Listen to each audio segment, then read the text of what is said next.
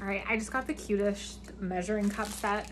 Let's unbox it together. So you get a little pot and then you get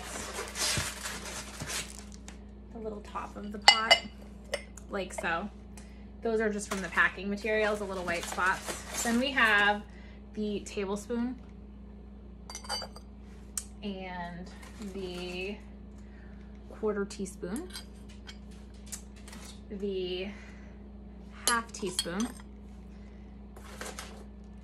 and the teaspoon. And it's a little cactus. They had other colors. It's gorgeous, well-made ceramic, and it's just gonna look so stinking cute on a counter. Um, so here's my salt.